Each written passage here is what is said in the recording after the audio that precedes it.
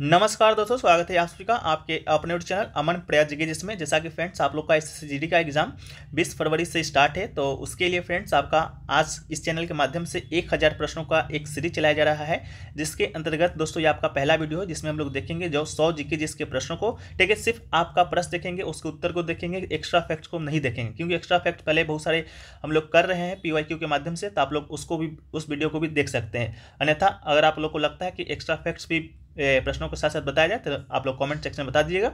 Next video से हम लोग उसको भी करने का प्रयास करेंगे, ठीक है? लेकिन आज की इस वीडियो में हम पचास जीके जिसके एमसीक्यू क्वेश्चन को देखेंगे, जो आपके एग्ज़ाम पॉइंट ऑफ़ व्यू से बहुत बहुत इंपॉर्टेंट होने वाला है। तो चलिए वीडियो को स्टार्ट करते हैं। बाकी इसका जो पीडीएफ है, आपको टेलीग्राम चैनल पर मिल जाएगा। लिंक डिस्क्रिप्शन में दिया गया है। तो आप लोग जाकर वहाँ से ज्वाइन ज़रूर हो जाइएगा। तो आज का जो पहला जो प्रश्न पूछा गया है कि भारतीय संविधान का अनुच्छेद सत्रह डैश से संबंधित है। तो भारतीय संविधान का जो अनुच्छेद सत्रह है, वो दोस्तों आपका चार ऑप्शन दिया गया था। उसमें राइट आंसर आपका ऑप्शन नंबर दो यानी कि अस्पृश्यता का उन्मूलन से संबंधित है, ठीक है?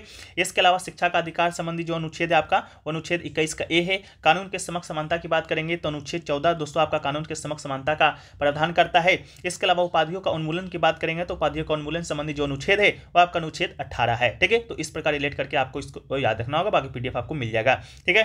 चलिए वीडियो में आगे बढ़ते हैं इससे पहले आपको बता दें कि जो लोग भी मॉक टेस्ट नहीं दे रहे हैं एग्ज़ाम में एग्ज़ाम जाने से पहले उन लोगों को मॉक टेस्ट ज़रूर देना चाहिए। मॉक टेस्ट आप दीजिएगा कहाँ से? तो मॉक टेस्ट देने का सबसे अच्छा जो प्लेटफॉर्म है अभी तक ऑनलाइन दोस्तों आपका टेक्स्ट बुक है। टेक्स्ट बुक पर अभी ऑफ़र भी चल रहा है आपका कामयाबी एक्सप्रेस सेल के नाम से, जो कि सात, आठ, नौ फरवरी तक चलना है। इसमें टेक्स्ट बुक का जो ईयरली पास है, वह मात्र दो सौ में, और टेक्स्ट बुक का जो पास प्रो है, वह मात्र चार सौ में मिलने वाला है। पास प्रो लीजिएगा तो एक मॉक को आप अनलिमिटेड दे सकते हैं। साथ में इसका पी वाई भी डाउनलोड कर सकते हैं। Coupon code A P G use कीजिएगा तो आपको यहाँ पर दस का एक्स्ट्रा ऑफ़ भी देखने को मिलेगा। टेक्स्ट बुक किसी एग्ज़ाम का, आपका मॉक टेस्ट या पी वाई नहीं, आपका सभी एग्जामों का, चाहे एस का हो रेलवे का हो बैंक का हो, या आपके स्टेट लेवल का एग्ज़ाम क्यों ना सभी एग्जामों का पी और मॉक टेस्ट आपको यहाँ पर देखने को मिलता है एक ही पास में। साथ में जैसा कि रेलवे का भी वैकेंसी आया है तो पिछला बार जब एल का वैकेंसी आया था, उसमें से चालीस हज़ार बच्चों ने मॉक टेस्ट से जुड़कर टेक्स्ट बुक से आपका सिलेक्शन लिया था। साथ में बिरासी परसेंट जो क्वेश्चन है, आपको डायरेक्ट हु बहू टेक्स्ट बुक के टेस्ट सीरीज़ से ही देखने को मिला था। तो आप लोग भी इसको पास पास को प्रोसेस करके मॉक टेस्ट को देकर अपनी तैयारी को बेहतरीन कर सकते हैं। डिस्क्रिप्शन में लिंक दिया गया है, साथ में कूपन कोड ए ज़रूर यूज़ कीजिएगा। चलिए हम लोग वीडियो में आगे बढ़ते हैं। सेकेंड जो प्रश्न आपका है, वह है कि व्यक्तिगत सॉरी दो की जनगणना के अनुसार भारत में निम्न में से किस राज्य का लिंगानुपात है, जो कि फ्रेंड्स सबसे अधिक है, ठीक है? तो सबसे अधिक लिंगानुपात आपसे पूछा गया था। चार ऑप्शन दिए हैं, महाराष्ट्र, आंध्र प्रदेश, केरल और तमिलनाडु। तो इसका जो राइट आंसर है वो दोस्तों आपका केरल हो जाएगा। लिंगानुपात के विषय में बात करेंगे तो लिंगानुपात फ्रेंड्स से कहते हैं, आपका कि एक हज़ार पुरुष पर आपका महिलाओं की संख्या, ठीक है? एक हज़ार पुरुष पर महिलाओं की संख्या कितना है, उसी को हम लोग लिंगानुपात कहते हैं, ठीक है? तो केरल का जो लिंगानुपात है वो आपका एक हज़ार चौरासी, यानी कि एक हज़ार एक हज़ार मेल पर आपका एक हज़ार क्या एक हज़ार चौरासी है, जो कि फीमेल है, ठीक है? इसी को हम लोग लिंगानुपात कहते हैं। सबसे अधिक आपका केरल का है, इसके अलावा बात करेंगे सबसे कम कहाँ का है तो सबसे कम दोस्तों आपका हरियाणा का है, इसको भी याद रखिएगा। हरियाणा का जो लिंगानुपात है वो आपका 879 है। उसी प्रकार भारत के लिंगानुपात की बात करते हैं तो भारत का जो लिंगानुपात है, वो भारत का लिंगानुपात 943 है। यानी कि 943 पर महिला है 1000 पुरुष पर, और हरियाणा का सबसे कम है, आठ सौ उनासी महिला है 1000 पुरुष पर। ठीक है? नेक्स्ट क्वेश्चन है कि भारतीय अर्थव्यवस्था के एफ़ अधिनियम दो हज़ार तीन में एफ़ का अर्थ क्या था? ठीक है? तो एफ़ का अर्थ आपसे पूछा गया था तो इसका राइट आंसर आपका फ़िज़िकल आपका ऑप्शन नंबर थ्री इसका राइट आंसर आपका हो जाएगा, ठीक है? एफ़ अधिनियम का पूर्ण रूप होता है आपका राजकोषीय उत्तरदायित्व और बजट प्रबंधन अधिनियम, ठीक है? इसका हिंदी का है तो इसको भी याद रखिएगा। नेक्स्ट क्वेश्चन है कि गैल्वनीकरण या यसद लेपन वो प्रक्रिया है जिसमें लोहे को जंग लगने से बचाने के लिए इस पर डैश की एक परत चलाई जाती है, ठीक है? तो आपसे पूछा गया है किसकी परत चलाई जाती है? तो इसमें दोस्तों आपका ताम सॉरी ऑप्शन नंबर एक, जस्ते का परत चलाया जाता है तो इसका राइट आंसर क्या होगा? आपका जस्ता हो जाएगा। गेलविन गेलविनीकरण कहिए या यश देपन कहिए, दोनों एक ही नाम है। ये एक धातु कर्मिक प्रक्रम है जिसमें इस्पात या लोहे के ऊपर जस्ते की परत चढ़ा दी जाती है और इससे इन धातुओं का क्षरण यानी कि विशेषता जो जंग है, वो आपका लगना रुक जाता है। ठीक है? तो इसी को हम लोग गैल्वेनिकरण कहते हैं। ठीक इसको याद रखिएगा। नेक्स्ट क्वेश्चन है कि निम्नलिखित में से किसने सल्तनत काल के दो मूल सिक्के, चांदी का टका यानी कि सिल्वर टंका और तांबे का जितल, आपका चलाया था, ठीक है? तो किस शासक ने चलाया था आपसे पूछा गया है तो इसका राइट आंसर आपका इलतुतमिस हो जाएगा। इलतुतमिस की बात करते हैं तो इल तुतमिस आपका कुतुबुद्दीन ऐबक क्या क्या था? उत्तराधिकारी था, ठीक है? आपका ये दिल्ली सल्तनत का तीसरा शासक था, किस वंश से था? तो मुमलिक वंश कहिए गुलाम वंश कहिए उससे ही आपका उससे ही आपका रिलेटेड था, इसने दो सिक्का चलाया था चांदी का और तांबा का, ठीक है? चांदी के सिक्का को टंका कहा जाता है और तांबे का सिक्कल को जीतल कहा गया है। नेक्स्ट क्वेश्चन है कि वॉकर कप निम्नलिखित में से किस खेल से संबंधित है, ठीक है? तो वॉकर कप की बात करेंगे तो वॉकर जो कप है, वो दोस्तों आपका गोल्फ से संबंधित है तो इसका राइट आंसर आपका गोल्फ हो जाएगा। गोल्फ की बात करते हैं तो ओलंपिक में कब शामिल हुआ, ये आपके लिए इंपॉर्टेंट है तो ये ओलंपिक में आपका उन्नीस में शामिल हुआ था, ठीक है? उन्नीस का जो ओलंपिक हुआ था, उसमें आपका गोल्फ है जो कि पहली बार खेला गया था। इसके अलावा वॉकर कप आपका गोल्फ से संबंधित है, इसके अलावा Ryder cup master tournament the US open भी गोल्फ से ही संबंधित आपका कप है। नेक्स्ट क्वेश्चन है कि निम्नलिखित में से कौन सा विटामिन हमारी त्वचा और आँखों को स्वस्थ, आँखों को स्वस्थ रखने में सहायता प्रदान करता है? तो हमारी त्वचा को और आँखों को स्वस्थ रखने में जो विटामिन सहायता करता है, उस विटामिन का नाम है आपका option number A, vitamin A. तो इसका राइट आंसर क्या होगा? विटामिन ए, इसका राइट आंसर आपका हो जाएगा, ठीक है? साथ में ये जो विटामिन ए है, वो आपका हमारे शरीर के संक्रमण से लड़ने में भी मदद करता है। नेक्स्ट क्वेश्चन है, वह है कि निम्नलिखित में से कौन सा एक जेवियन ग्रह नहीं है, यानी कि जोमियन ग्रह नहीं है, ठीक है? तो इसका राइट आंसर आपका हो जाएगा ऑप्शन नंबर दो, यानी कि बुध, ठीक है? जोमियन ग्रह आखिरकार कहते किसको है? तो जोमियन ग्रह उस ग्रह को कहा जाता है, जो गैस का एक विशालकाय ग्रह होता है मुख्य रूप से भारी तत्वों की प्रचुरता के साथ हाइड्रोजन और हीलियम गैस से बना होता है, ठीक है? तो इसको भी याद रखिएगा, आपका जो अपना जो पृथ्वी है, जहाँ पर हम लोग अभी रह रहे हैं, वो आपका जोबियन नहीं, वो आपका क्या है? स्थलीय ग्रह है, ठीक है? हमारे सौरमंडल में मात्र चार ही ज़मीन ग्रह है, जिसमें से एक आपका बुध है, एक आपका बृहस्पति एक आपका बृहस्पति है सॉरी जोमियन ग्रह नहीं है पूछा गया था, ठीक है? तो बुध आपका नहीं है, ठीक है? बुध आपका नहीं हमारे सौरमंडल में मात्र चार ही जोमियन ग्रह है। एक आपका बृहस्पति है, एक आपका शनि है, एक आपका अरुण है, एक आपका वरुण है, ठीक है? मात्र चार ही आपका क्या है? जोबियन ग्रह है। बाकी जो ग्रह है, आपका जोबियन ही स्थलीय है। पृथ्वी हमारा स्थलीय ग्रह है। नेक्स्ट क्वेश्चन है कि नवंबर दो हज़ार तेईस तक निम्नलिखित में से कौन सा राज्य भारत में कपास के उत्पादन में कपास का अग्रणी उत्पादक है, यानी कि सबसे ज़्यादा कपास है, जो कि कौन सा राज्य जो कि उगाता है तो इसका राइट आंसर आपका हो जाएगा ऑप्शन नंबर थ्री यानी कि गुजरात। ठीक है, सबसे ज़्यादा जो कपास है, आपका गुजरात में उगाया जाता है। सेकंड नंबर पर आपका महाराष्ट्र है, इसको भी याद रखिएगा, महाराष्ट्र आपका सेकंड नंबर पर है, आप इसके अलावा तेलंगाना आपका थर्ड पर है, इसके अलावा आपकी बात करेंगे, कर्नाटक आपका चौथा पर है, और आंध्र प्रदेश आपका पाँचवा स्थान पर है, इसको भी आप याद रखिएगा। ठीक है नेक्स्ट क्वेश्चन है कि भारतीय रेलवे की वर्ष डैश तक शुद्ध शून्य कार्बन उत्सर्जक, यानी कि नेट ज़ीरो कार्बन इमिटर बनने की योजना है, ठीक है? तो भारतीय रेलवे जो है, वो दोस्तों आपका 2023 तक आपका शुद्ध शून्य कार्बन उत्सर्जन हासिल करके दुनिया का सबसे बड़ा हरित नेटवर्क बनने की दिशा की ओर बढ़ रहा है। तो इसका राइट आंसर आपका दो हज़ार तीस हो जाएगा। नेक्स्ट क्वेश्चन है कि किस संस्था ने मिशन 50 के E V four E C O launch किया है? किस संस्था ने किया है? तो इसका राइट आंसर ऑप्शन नंबर दो, यानी कि सिडवी इसका राइट आंसर हो जाएगा। नेक्स्ट क्वेश्चन है कि मारतांड सूर्य मंदिर जो हाल ही में समाचार समाचारों में देखा गया है, वो किस राज्य या केंद्र शासित प्रदेश में स्थित है? जो मारतंड जो सूर्य मंदिर है, वो दोस्तों आपका जम्मू कश्मीर में स्थित है तो इसका right answer option number three Jammu Kashmir, इसका आपका राइट आंसर हो जाएगा। नेक्स्ट क्वेश्चन है कि वर्ष दो के जनगणना के अनुसार नई दिल्ली ज़िले की साक्षरता दर कितनी है, ठीक है? तो नई दिल्ली का आपका साक्षरता दर पूछा गया है तो नई दिल्ली का जो साक्षरता दर है, वो फ्रेंड्स आपका 88.01 परसेंट है, ठीक है? कितना है? तो 88.01 परसेंट है तो इसका राइट आंसर हो जाएगा। नेक्स्ट क्वेश्चन है कि भारतीय राष्ट्रीय कांग्रेस के निम्नलिखित अधिवेशनों में किस अधिवेशन की अध्यक्षता पहली बार एक महिला ने किया था? तो पहली बार एक महिला ने किया था तो इसका राइट आंसर दोस्तों आपका कलकत्ता अधिवेशन उन्नीस सौ सत्रह हो जाएगा। कलकत्ता अधिवेशन उन्नीस सौ सत्रह का जो अधिवेशन है, वो दोस्तों आपका किसके द्वारा किया गया था? तो ये किया गया था आपका एनी बेसेंट के द्वारा। द्वारा, किसके द्वारा किया गया था? तो एडी वेसन के द्वारा किया गया था, जो कि पहली बार एक महिला ने आपका कांग्रेस का अध्यक्षता है, जो कि किया था। इसके अलावा अगर आपसे पहली बार भारतीय महिला पूछेगा तो भारतीय महिला इसका राइट आंसर क्या होगा? तो भारतीय महिला अगर आपसे पूछता है तो भारतीय महिला का राइट आंसर होगा सरोजनी नायडू, ठीक है? सरोजनी नायडू पहली भारतीय महिला थी, जिसने भारतीय राष्ट्रीय कांग्रेस का आपका अध्यक्षता किया था। वो कानपुर अधिवेशन उन्नीस का है, जो जो कि इन्होंने अध्यक्षता है, जो कि किया है। नेक्स्ट क्वेश्चन है कि भरतनाट्यम नृत्य किस राज्य से संबंधित है? तो भरतनाट्यम नृत्य की बात करेंगे तो भरतनाट्यम आपका तमिलनाडु का शास्त्रीय नृत्य है तो इसका राइट आंसर क्या होगा? ऑप्शन नंबर चार आपका इसका राइट आंसर हो जाएगा भरतनाट्य सॉरी तमिलनाडु। भरतनाट्यम की बात करेंगे तो ये आपका सबसे पुराना शास्त्रीय नृत्य है। अगर आपसे आठ जो शास्त्रीय नृत्य है, उसमें से सबसे पुराना पूछेगा तो वो भी आपका भरतनाट्यम ही इसका राइट आंसर होगा।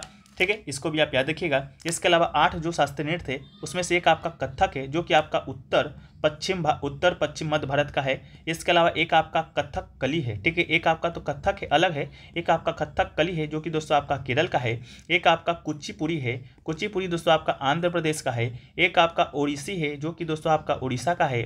एक आपका फ्रेंड्स मणिपुरी है, जो कि आपका मणिपुर का है। एक आपका फ्रेंड्स मोहनी अट्टम है। मोहनी अट्टम एक आपका केरल का है और एक आपका सतरिया है, जो कि दोस्तों आपका असम का शास्त्रीय नृत्य है, ठीक है? तो ये आपका संगीत नाटक एकेडमी के द्वारा मान्यता प्राप्त आठ शास्त्रीय नृत्य है, ठीक है? इसके अलावा नेक्स्ट क्वेश्चन है कि निम्नलिखित में से किसे पैराशूटिंग के लिए मेजर ध्यानचंद खेल रत्न पुरस्कार 2021 से सम्मानित किया गया था। तो इसका राइट आंसर आपका अवनी लखेड़ा हो जाएगा। ऑप्शन नंबर चार, अवनी लखेड़ा हो जाएगा। ये जो अवनी लखेड़ा है, ये दोस्तों आपका किस से संबंधित है? तो शूटिंग से संबंधित है, ठीक है? इन्होंने टोक्यो 2020 का जो पैरा ओलंपिक हुआ था, उसमें 10 metre air rifle standing event में स्वर्ण पदक और 50 metre rifle three position event में कांस्य पदक है जो कि इन्होंने जीता है। साथ में 2022 में इन्हें आपका पद्मश्री अवार्ड भी दिया गया था, ठीक है? 2022 में इसे पद्मश्री अवार्ड भी दिया गया था। ये जो मेजर ध्यानचंद खेलरत्न पुरस्कार है, ये जो इसका पहले का नाम था राजीव गांधी खेलरत्न पुरस्कार, इसका जो नामकरण है 2021 में ही बदलकर मेजर ध्यानचंद्र खेलरत्न पुरस्कार है, जो कि कर दिया गया था। नेक्स्ट क्वेश्चन है कि निम्नलिखित में से किस तत्व का उपयोग इसके अदरताग्राही गुणों, यानी कि हाइसोग्रोफिक प्रॉपर्टीज़ के कारण मॉइस्चरिंग राइजिंग क्रीम और साबुन में किया जाता है? तो इसका राइट आंसर ऑप्शन नंबर एक, यानी कि गिल्सरोल इसका राइट आंसर होगा। नेक्स्ट क्वेश्चन है कि प्रसिद्ध भारतीय वैज्ञानिक डॉक्टर एपीजे अब्दुल कलाम की आत्मकथा को डैश के नाम से जाना जाता है। तो प्रसिद्ध भारतीय वैज्ञानिक की बात करेंगे डॉक्टर एपीजे अब्दुल कलाम की तो उनकी आत्मकथा का नाम पूछा गया था। तो इनके आत्मकथा का नाम है आपका wings of fire option number चार विंग्स ऑफ़ फायर इसका राइट आंसर हो जाएगा। यह मूल रूप से आपका उन्नीस सौ निन्यानवे में यह आपका प्रकाशित हुआ था। यह आपका ए पी जे अब्दुल कलाम जी के द्वारा एक आपके इनके सहयोगी है, अरुण तिवारी। इनके द्वारा है, ये पुस्तक आपका, ये लिखा गया है। ये आपके पूर्व प्रसिद्ध भारतीय वैज्ञानिक तो हैं ही, साथ में आपके पूर्व राष्ट्रपति भी रह चुके हैं। 2002 से लेकर 2007 तक ये आपके भारत के राष्ट्रपति के तौर पर इन्होंने कार्य जो कि किया था। ठीक है? इन्हें मिसाइल मैन के नाम से भी जाना जाता है। इस बात को आप याद रखिएगा। नेक्स्ट क्वेश्चन है कि निम्नलिखित में से कौन सा भारत के मेघालय का एक प्रसिद्ध फ़सल कटाई उत्सव है? ठीक है? तो फ़सल कटाई उत्सव पूछा गया है। वो भी आपका मेघालय का पूछा गया है। तो मेघालय का पूछा गया है तो इसका जो राइट आंसर है, वो आपका हो जाएगा ऑप्शन नंबर थ्री ठीक है? ऑप्शन नंबर थ्री आपका नोंग क्रेम फेस्टिवल आपका मेघालय से संबंधित है। इसके अलावा ऑनविल फेस्टिवल आपका नागालैंड से है, चापचारकुट फेस्टिवल आपका मिजोरम से है, सनवन फेस्टिवल कहाँ से है, ये इसका जवाब हम आप लोग से चाहेंगे कमेंट सेक्शन में, ठीक है? नेक्स्ट क्वेश्चन है कि कुचिपुड़ी नृत्य शैली के किस गुरु को वर्ष उन्नीस में पद्म भूषण मिला था, ठीक है? तो इसका राइट आंसर आपका गुरु बेम्पत्ति चिन्ना सत्यम इसका राइट आंसर हो जाएगा, ठीक है? इनको दो उन्नीस में पद्म भूषण अवार्ड से है जो कि सम्मानित किया गया था। कुचिपुड़ी कहाँ का शास्त्रीय नृत्य इसका ज़िक्र हम लोग ऊपर के वीडियो में कर चुके हैं कि कुचिपुरी आपका आंध्र प्रदेश का एक शास्त्रीय नृत्य है, ठीक है? इसके अलावा नेक्स्ट क्वेश्चन है, उससे पहले दोस्तों आपको बता दें कि जो केलुचरण महापात्रा है, इनका संबंध आपका इसी से है, और आपका जो गुरु विपिन सिंह है, इनका संबंध आपका मणिपुरी नट से है, ठीक है? आप उदय शंकर कहाँ से है? इसका कमेंट सेक्शन में आप लोग जवाब दीजिए। नेक्स्ट क्वेश्चन है कि भारत का क्षेत्रफल विश्व के कुल भौगोलिक क्षेत्रफल का कितना प्रतिशत है, ठीक है? तो जो भारत का जो क्षेत्रफल है, वो विश्व का विश्व का कुल 2.4 प्रतिशत है। कितना है? 2.4 प्रतिशत है। तो इसका राइट आंसर आपका राइट आंसर हो जाएगा। इसके अलावा बात करें भौगोलिक क्षेत्रफल क्षेत्रफल की दृष्टि से भारत का, विश्व में कौन सा स्थान है? तो विश्व में आपका सातवां स्थान है। ठीक है, विश्व में कौन सा स्थान है? सातवां स्थान है। पहले नंबर पर कौन सा देश है? तो रूस है पहले नंबर पर। ठीक है, भारत का स्थान सातवां है, जो कि पूरे विश्व का टू प्रतिशत आपका क्षेत्रफल क्षेत्रफल है, जो कि आपका रखता है। कुल क्षेत्रफल की बात करेंगे तो बत्तीस लाख सतासी हज़ार दो सौ तिरसठ वर्ग किलोमीटर आपका भारत का क्षेत्रफल है, ठीक है?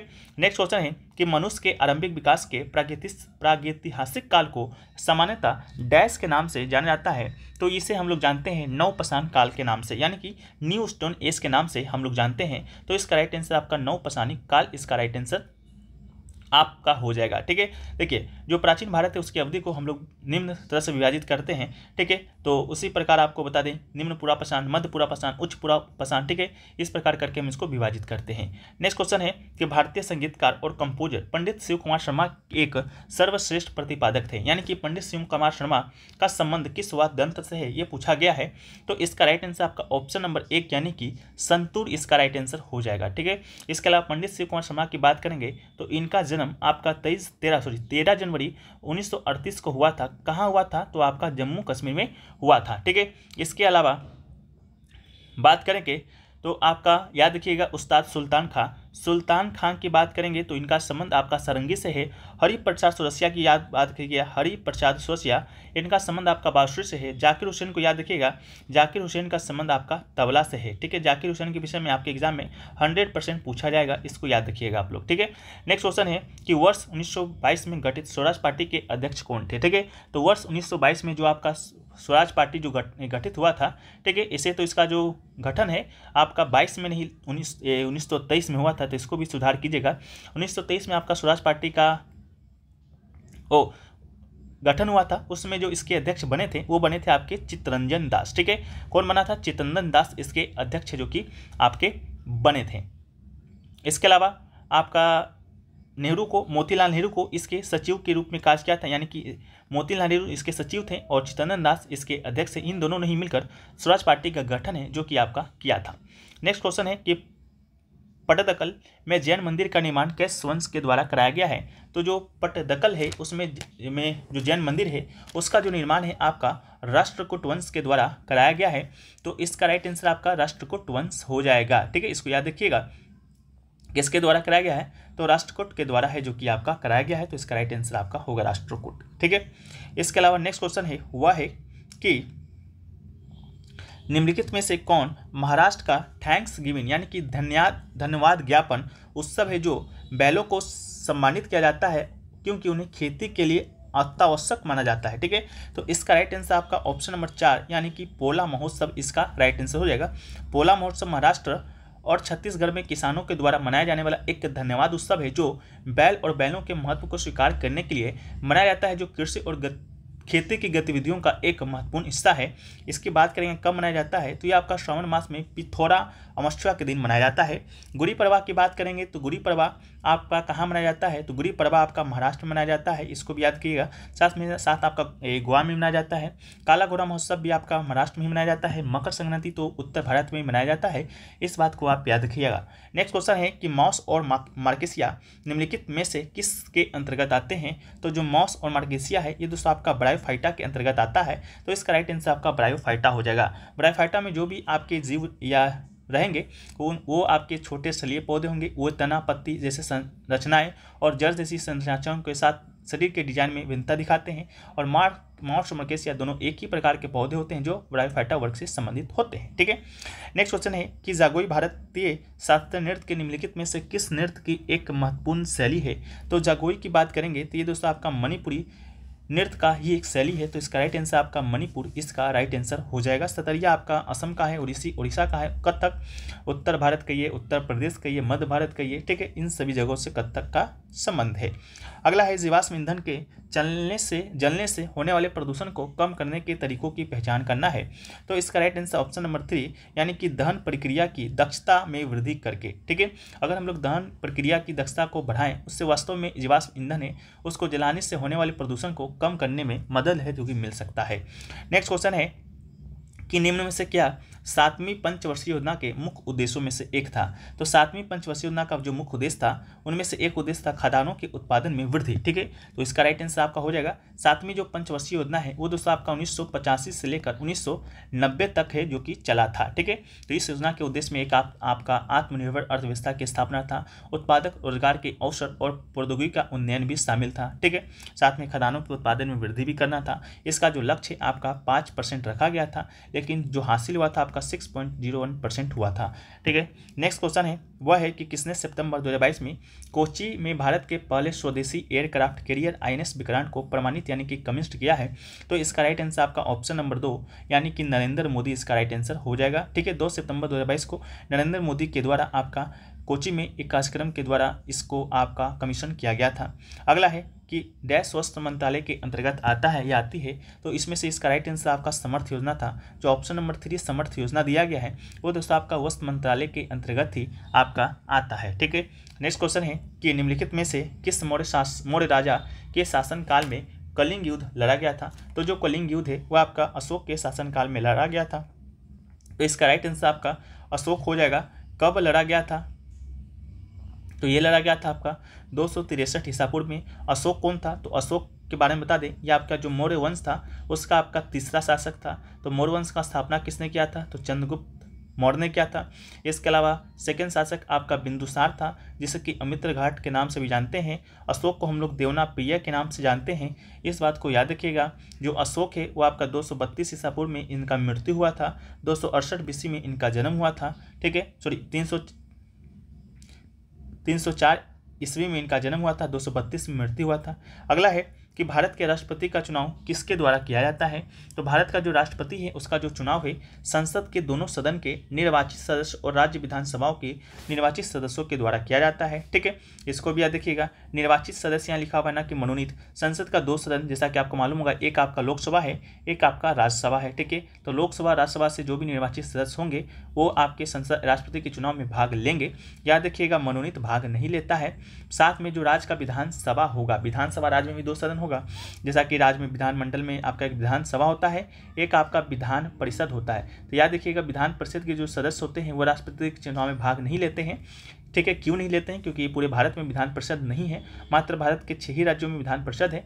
इस कारण जो राष्ट्रपति का चुनाव होता है, उसमें भाग नहीं ले पाते हैं सिर्फ़ विधानमंडल के, जो एक सदन है, यानी कि विधानसभा है, वही भाग लेते हैं। लोकसभा आपका निम्न सदन है और राज्यसभा आपका उच्च सदन है। उसी प्रकार विधानसभा आपका राज्यों में निम्न सदन है और आपका विधान परिषद राज्यों में उच्च सदन है। ठीक है? उसी प्रकार है।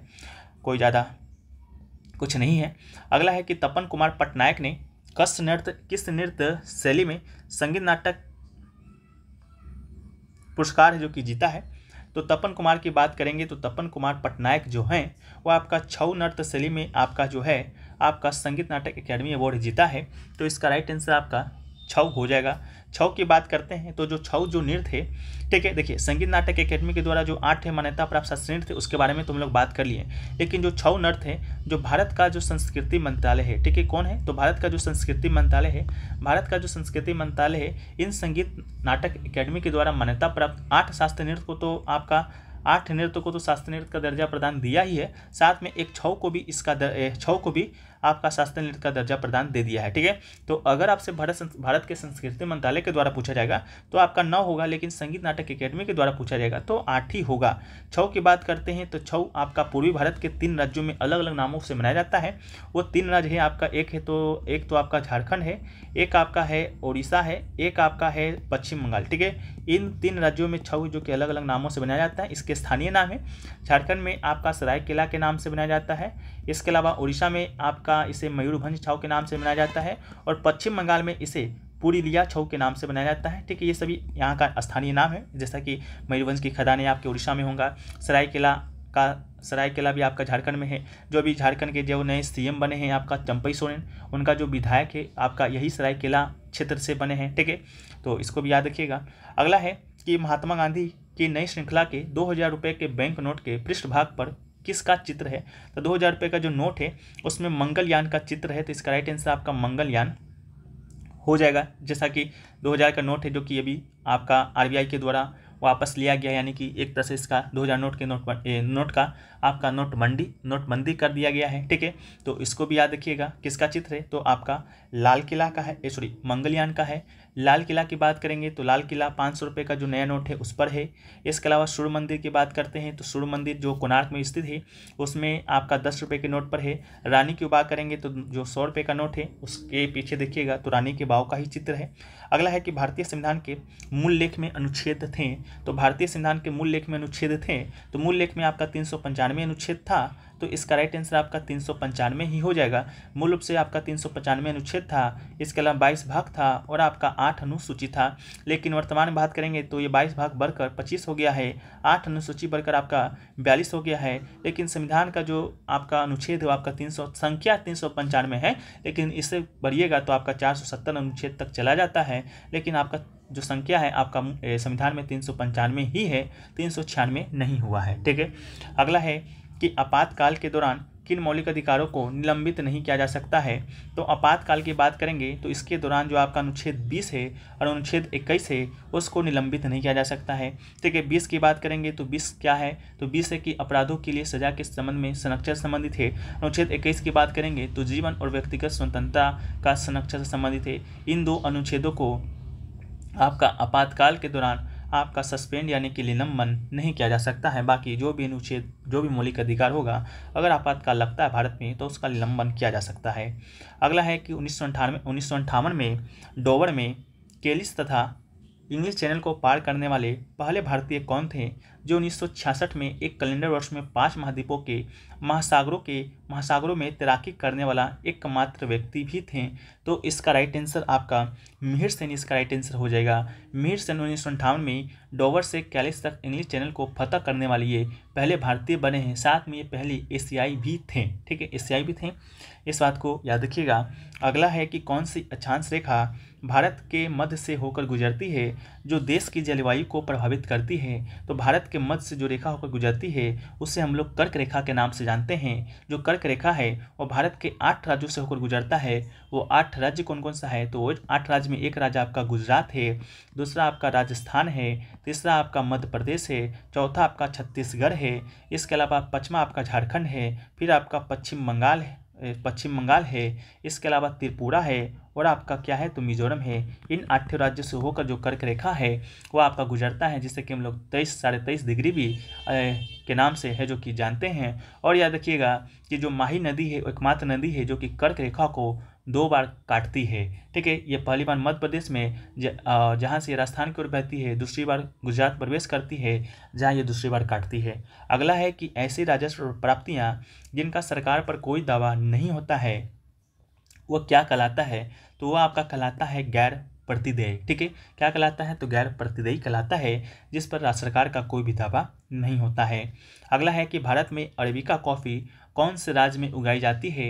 तो भारत की बात करेंगे तो भारत में जो अरेबिका जो कॉफ़ी है, वो दोस्तों आपका कर्नाटक में उगाया जाता है। तो इसका राइट आंसर आपका कर्नाटक ही हो जाएगा। साथ में जो कर्नाटक है, भारत का सबसे बड़ा कॉफ़ी उत्पादक राज्य भी है। पहले के प्रश्नों में हम लोग कपास के बारे में देखे थे कि कपड़ा कपास का अग्रणी उत्पादक राज्य कौन है? तो गुजरात था। उसी प्रकार कॉफ़ी उत्पादक में देखेंगे तो आपका कर्नाटक है, जो कि सबसे ज़्यादा हिस्सेदारी है, जो कि उगाता है। भारत में कुल इक्कीस परसेंट उत्पादन है। आपका कॉफ़ी का, वो आपका केरल करता है, ठीक है? लेकिन उससे ज़्यादा भी आपका कर्नाटक है, जो कि करता है तो इसका राइट आंसर आपका कर्नाटक हो जाएगा। कर्नाटक और केरल दोनों मिलकर भारत में कुल नब्बे परसेंट हिस्सा है, जो कि आपका उगाता है, ठीक है? तो इसको याद रखिएगा, केरल सेकेंड स्थान पर है, तमिलनाडु आपका तीसरा स्थान पर है। अगला है कि भारत में पहली संपूर्ण जनगणना कब की गई थी? तो भारत की बात करेंगे तो भारत में जो पहली जो संपूर्ण जनगणना है, वो दोस्तों आपका किया गया था अठारह सौ इक्यासी ईस्वी में, ठीक है? पहली संपूर्ण जनगणना की बात करेंगे तो अठारह सौ इक्यासी में, लेकिन इसे ही पहली जनगणना रहता, संपूर्ण नहीं रहता तो आपका राइट आंसर अठारह सौ बहत्तर होता। इसको भी याद रखिएगा, जो जनगणना है, प्रत्येक दस साल पर कराया जाता है, ठीक है? तो अठारह सौ इक्यासी से बात करेंगे तो अठारह सौ इक्यासी से अगर दो हज़ार ग्यारह तक देखें जो कि अंतिम जनगणना था, जो ग्यारह के बाद कोई भी जनगणना नहीं हुआ है तो आपका पंद्रहवीं जनगणना था। आज़ादी के बाद आपका ये सातवीं जनगणना था, ठीक है? तो इसको भी याद रखिएगा। नेक्स्ट है कि स्किल इंडिया अभियान की अभिशासन परिषद की अध्यक्षता कौन करते हैं? तो स्किल इंडिया का जो अभिशासन, जो परिषद है, उसकी अध्यक्षता की बात करेंगे। तो उसकी अध्यक्षता आपका प्रधानमंत्री जी के द्वारा किया जाता है। तो इसका राइट आंसर आपका क्या होगा? प्रधानमंत्री होगा। इसको भी आप याद रखिएगा, ठीक है? इसके अलावा जो स्किल इंडिया जो मिशन है, आपका 2015 में 15 जुलाई के दिन शुरू किया गया था नई दिल्ली से। अगला है कि सदनम पीबी बालकृष्णन को किस नृत्य शैली के लिए संगीत नाटक एकेडमी पुरस्कार दिया गया है? तो सदनम जो पीबी बालकृष्णन है, उनको कथक कली नृत्य शैली के लिए संगीत नाटक एकेडमी अवार्ड है जो कि दिया गया है। तो इसको आप लोग याद रखिएगा, कथक कली। नेक्स्ट क्वेश्चन है, वह है कि मानव शरीर में भोजन का, भोजन एक सतत नली से गुजरता है, जो डैश से प्रारंभ होकर गुद्दा तक जाता है तो इसका राइट आंसर आपका ऑप्शन नंबर एक, मुख घुइका इसका राइट आंसर हो जाएगा। नेक्स्ट क्वेश्चन है कि तमिलनाडु तट पर अधिकतर जो वर्षा है, वह डैश और डैश के दौरान होता है। तो तमिलनाडु तट की बात करेंगे तो उस पर जो अधिकतर वर्षा है, वो दोस्तों आपका अक्टूबर और नवंबर के दौरान होता है। तो इसका राइट आंसर आपका अक्टूबर और नवंबर, इसका राइट आंसर होगा। अगला है कि जनगणना दो के अनुसार भारत में सर्वाधिक महिला साक्षरता दर वाले राज्य का नाम बताना है। तो दो ग्यारह की जनगणना के अनुसार भारत में सर्वाधिक महिला साक्षरता दर आपका केरल का है, साथ में पुरुष का भी सर्वाधिक साक्षरता दर केरल का है और ओवरऑल साक्षरता दर भी आपका केरल का ही है। इस बात को भी आप याद रखिएगा, ठीक है? सॉरी राज्यों सॉरी राज्यों में सबसे ज़्यादा पुरुषों का है, लेकिन ओवरऑल पूछेगा तो लक्षद्वीप का पुरुष साक्षरता दर सबसे अधिक है, ठीक है? लेकिन अगर राज्यों में पूछेगा तो केरल का है, ठीक है? इसको याद रखिएगा। अगला है कि महाशिवरात्रि हिंदू देवता भगवान शिव के सम्मान में हिंदू माँ डैश में मनाया जाता है। तो जो महाशिवरात्रि है, वो दोस्तों आपका फागुन, ठीक है? ऑप्शन नंबर थ्री, फागुन माह के दिन मनाया जाता है, जो कि आपका हिंदू माह का एक कल, ए कैलेंडर महीना है। तो इसका राइट आंसर आपका हिंदू माह इसका राइट आंसर हो जाएगा। फागुन फागुन फागुन की बात करते हैं। तो फागुन दोस्तों आपका आता कब है, ठीक है? तो फागुन आपका फरवरी, मार्च के बीच में आपका फागुन का महीना है जो कि आता है। अगला है कि बैडमिंटन में प्रत्येक गेम में कितने अंक होते हैं? तो बैडमिंटन की बात करेंगे तो प्रत्येक खेल या गेम में फ्रेंड्स, कितना अंक होगा तो आपका इक्कीस अंक होगा, ठीक है? तो इसका राइट आंसर क्या होगा? इक्कीस अंक होगा। एक मैच में इक्कीस अंक का कुल तीन गेम है जो कि बैडमिंटन में खेला जाता है। इस बात को याद रखिएगा, ठीक है? बाकी बैडमिंटन कोर्ट की लंबाई आपका कितना होता है? तेरह पॉइंट फोर मीटर होता है। वहीं पर आपका एकल कोर्ट के लिए अगर डबल कोर्ट होगा तो सिक्स पॉइंट सॉरी तेरह पॉइंट जो वन तेरह पॉइंट फोर मीटर आपका क्या हो, लंबाई होता है। लेकिन चौड़ाई की बात करेंगे तो डबल कोट के लिए सिक्स पॉइंट वन मीटर होता है और सिंगल कोट के लिए आपका five point one eight metre होता है, ठीक है? तो ये आपका पचास क्वेश्चन आज रहा। बाकी कल से हम लोग और भी क्वेश्चन को बढ़ाएँगे। वीडियो आपको पसंद आए तो वीडियो को लाइक कर दीजिएगा, चैनल पर नए चैनल को सब्सक्राइब कर दीजिएगा। मिलते हैं हम लोग नेक्स्ट वीडियो में। जब तक के लिए जय हिंद, जय भारत, वंदे मातरम। वीडियो देखने के लिए धन्यवाद।